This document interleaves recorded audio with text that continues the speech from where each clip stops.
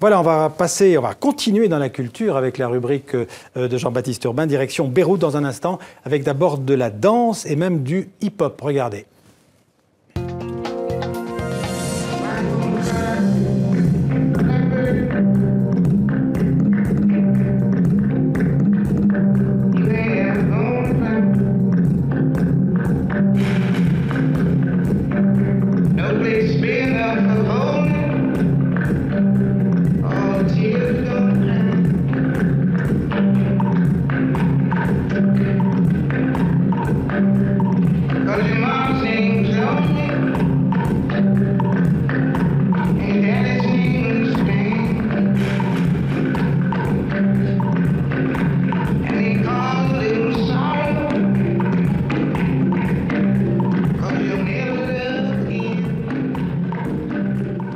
Bonjour Jean-Baptiste. Bonjour Xavier. Alors euh, le titre de ce spectacle, c'est Image. On vient de voir la danseuse et chorégraphe Antoinette Gomis et c'est à Paris, je pense, jusqu'à dimanche. Oui, c'est ça, c'est un grand, grand nom de la danse hip-hop. On pourrait même parler en mauvais français de street dance à propos d'Antoinette Gomis.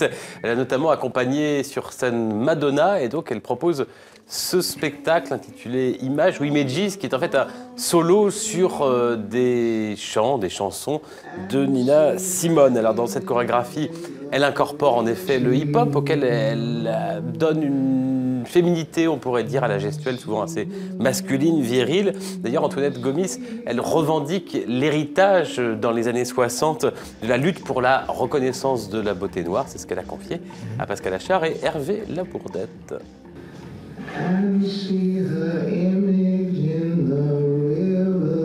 Cette chanson, elle, euh, elle raconte un peu ma petite vie de jeune banlieusarde qui euh, qui, qui voyait pas trop euh, la, la, beauté dans sa couleur très noire, ébène. Souvent, on me faisait la réflexion Ah, t'es noire. On ne disait pas t'es noire, on dit même t'es bleue. Donc euh, souvent c'était des, euh, des, blagues, mais pour moi c'était, euh, je rigolais, mais je gardais ça, je gardais ces critiques-là en rentrant chez moi, et c'est des critiques qui me touchaient vraiment. J'ai réussi, on va dire, à m'accepter grâce à la danse, euh, grâce à ce spectacle même là. Aujourd'hui, ce spectacle-là aussi, il m'aide euh, encore une fois à, me dire que oui, bah, je, suis, je, noire et je suis fière.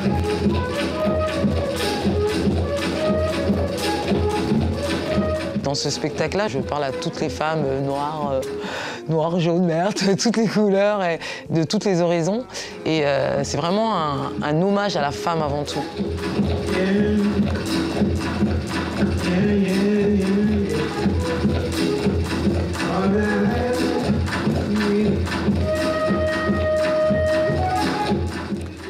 Autre chose, on va partir au Liban à la découverte d'une fondation pour l'art, la fondation Aishti qui a ouvert ses portes il y a un an et demi, tout mmh. juste, euh, à Beyrouth. Alors regardez les images de Wissam Sharaf. On est euh, à l'entrée nord de Beyrouth, face à la mer, un bâtiment qui a été conçu par un architecte britannique, David Adjaï. Et la particularité de ce lieu, c'est une immense galerie marchande de luxe. Ça, c'est pour la moitié de l'espace. L'autre moitié, elle abrite la collection d'art euh, contemporain de son fondateur, le richissime homme d'affaires Tony Salamé. Il y a 4000 mètres carrés d'exposition en tout et son président et fondateur, évidemment, est très très fier.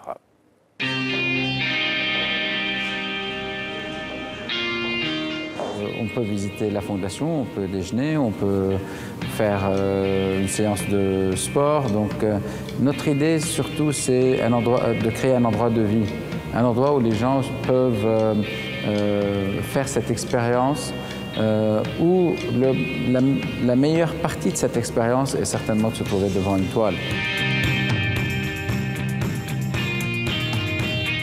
Au début, certainement, on a commencé à collectionner. Même s'il y a un fil conducteur, on ne se rend pas compte euh, de, de, ce qu'on est en train de faire, jusqu'au moment où on a un curator ou un conservateur qui nous aide euh, et qui nous organise un peu les idées, on se rend compte que ça a vraiment une âme.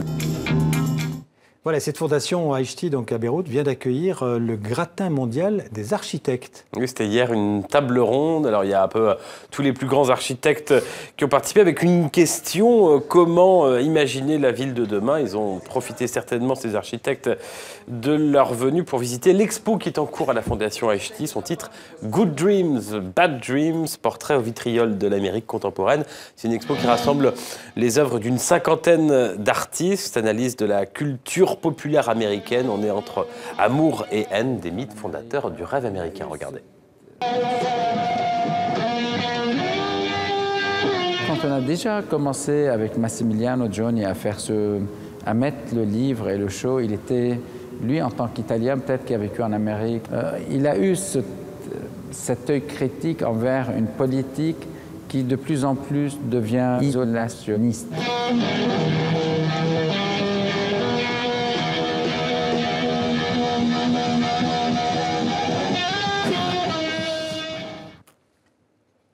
Oui, Jean-Baptiste. Voilà, c'est jusqu'en avril et la Fondation Rechti, vous vous dites, mais pourquoi ça s'appelle la Fondation Rechti J'allais vous le demander. Ça veut dire je t'aime en japonais et c'est euh, le nom qu'avait choisi euh, euh, Tony Salame au départ qui a eu une marque de vêtements et c'est comme ça qu'il a fait fortune.